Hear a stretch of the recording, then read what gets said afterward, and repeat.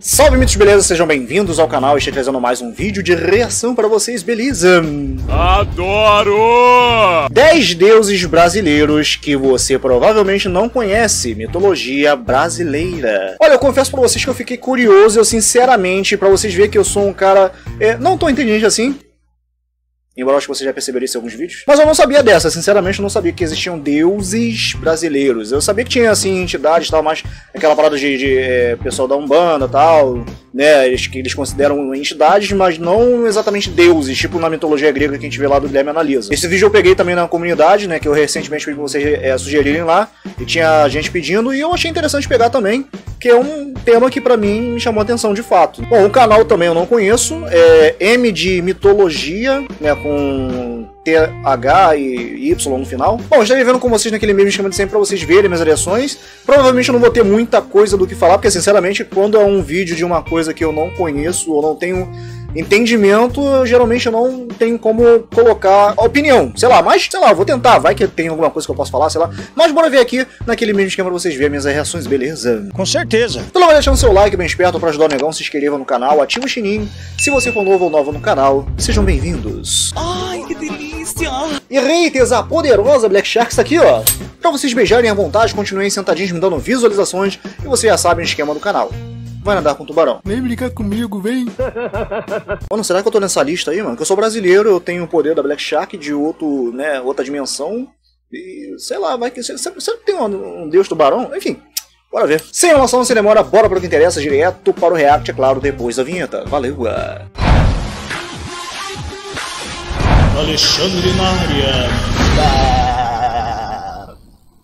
Você provavelmente deve conhecer ah. os Zeus, Sim. o Thor e também o Ra. Mas e os deuses do Brasil, sem contar o Tupã? Você conhece? Eu nem sabia desse Tupã. Eu também.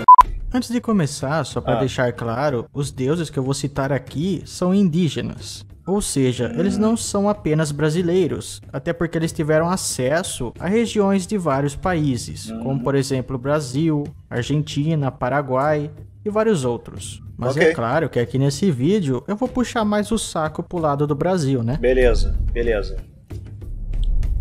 Bahira é um deus do povo Caguaíva, mais especificamente dos Tenharim. Bahira é um trickster, ou seja, ele adora ficar pregando peça nas pessoas. Ele é tão importante que alguns locais recebem o seu nome, como por exemplo as aldeias de Mbahira, que ficam na margem do rio Marmelos. Essas aldeias, porém, são especiais. Somente pajés conseguem vê-las, hum. o que para humanos comuns seria um conjunto de pedras, para o pajé e para o Embarrira é a chamada Aldeia do Embarrira. Não se pode sair andando por cima dessas pedras, Oxa. porque do contrário, o povo dessa aldeia pode acabar te pegando. Você pode ficar encantado e somente um pajé vai poder te salvar. Um dos seus maiores feitos foi o roubo do fogo celeste. Lá nos céus ele se fingiu de morto para atrair o urubu, e quando ele estava distraído, ele pegou o fogo e fugiu para a terra.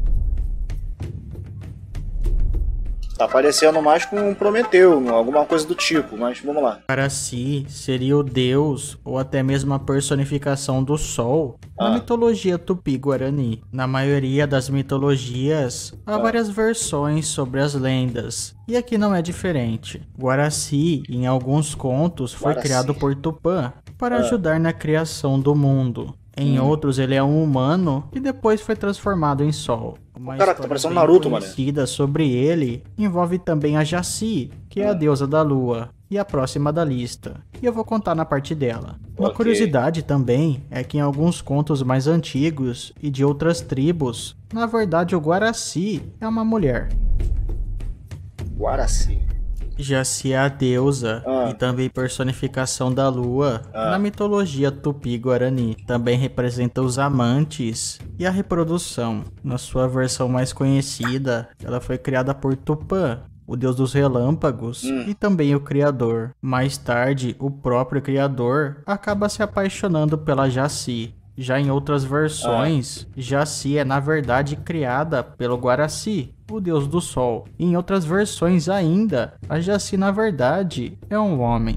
Vixe! Segundo uma Oxi. lenda, Um certo dia, o Guarani. Não, o outro que é a personificação do sol é que fala que é homem, mas falam que na verdade é mulher. A outra que é da lua, que não é mulher, fala que na verdade é homem. Mano. Indecisão. Si, que é o deus do sol, Ah. ficou muito cansado e resolveu fechar os olhos. E Ah. nesse momento, a escuridão tomou conta do mundo. Para Hum. iluminar tudo, então, ele criou a Jaci, que seria a lua. Ele iluminaria a noite e também traria suavidade para os homens. Mas ele mesmo acabou se apaixonando por ela. Mas no momento que ele abria os olhos para admirá-la, ela acabava sumindo. Então. Guaraci criou o Rudá, que seria o mensageiro e o deus do amor. E ele que seria o encarregado Seria tipo de dizer para Jaci o quanto o Guaraci a amava. Ele também criou as estrelas, que eram os irmãos de Jaci, Ah, e também faziam companhia para ela. Tá bom. O Tupã é o deus do trovão e também o criador da mitologia tupi-guarani. Hum. Apesar que tem uma certa polêmica sobre ele. Qual? Digamos que ele não é tão brasileiro assim. Mas eu não vou falar muito sobre isso, até porque eu já falei em um outro vídeo meu, que eu falo sobre os deuses mais poderosos do trovão. Ah. vou deixar aqui no card e também na descrição, caso você queira ver. Ok. Neda. Hã? Em algumas Nossa, outras que- versões da mitologia guarani, o Tupã não é o ser mais poderoso, Ah. mas sim o Yandevorusu. Ele teria surgido até mesmo antes do mundo. No começo não existia nada, Ah. apenas o vazio e a escuridão. Mas de repente uma pequena respiração surgiu, e ela foi se multiplicando e crescendo até se tornar um pensamento. E esse pensamento foi criando um corpo, e assim que o primeiro dos seres foi se autocriando. Ao abrir os olhos, ele Ah. percebeu que precisava dar ordem a todo aquele caos, mas ele também precisava de ajuda, e foi então que ele criou o Tupã, o deus do trovão, a Yara, a senhora das águas, e o Curupira, o espírito das florestas. Eles ajudaram Oxi. a criar todo o mundo. Beleza. Gente, pessoal poderoso. Apoia o Ewe não é bem um deus, mas eu achei interessante. Hum. Ele é um espírito da natureza de acordo com a lenda dos índios tupinambás. Ele Ah. leva a chuva para aquelas regiões que estão secas. Dessa maneira, ele garante a vida naqueles locais. Ele Beleza. também é o mensageiro do deus supremo Yandevorusu. Tudo o que acontece na Terra, ele leva até os ouvidos do Deus Criador. Outros Ah. acreditam, porém, que na verdade o apoia o Ewe é uma classe de espíritos que fazem o bem. E babel. Segundo a tribo dos Dessanas, Yababeló era a principal das divindades. Hum. Conhecida como a mulher que veio do nada, ela ficava em uma casa de quartzo e de lá ela criou todo o universo e toda a humanidade. Pô, a criação quarto? dos homens Caraca. e das mulheres foi enquanto ela mascava uma folha, sendo totalmente sem querer. Oh shit. Como assim? A Yangá era conhecido como um protetor da floresta. E deusa dos chifrudos. Espírito metamorfo tendo É. a sua principal forma sendo um cervo branco com os olhos flamejantes. Ah. Ele aparece quando os animais estão sendo caçados, principalmente os filhotes. Com o seu olhar, ele pode criar ilusões e também desviar a trajetória de uma bala. Como os índios tinham muito medo do Ayangá, os jesuítas transformaram ele em uma espécie de demônio que governava o submundo. Vixe. Aquanduba é um deus da cultura dos índios Nossa, araras.